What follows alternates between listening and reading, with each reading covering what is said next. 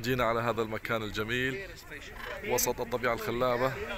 هنا يوجد هذه البحيرة كما تشاهدون من أجمل البحيرات في العالم.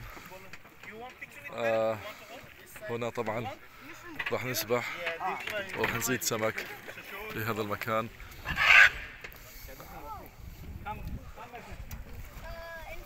انظروا إلى هذا القارب اللي إحنا جينا فيه. كما تشاهدون هنا الصخور. الجبال الصخرية. سبحان الله. مع تحياتي مع صقر. وسط الطبيعة جرين كانيون دمت في رعاية الله. سياح طبعا. جينا هنا لاستكشاف المكان. مع تحياتي مع صقر. خليكم معنا. سوف نطلعكم أولا بأول عن رحلتنا الرائعة.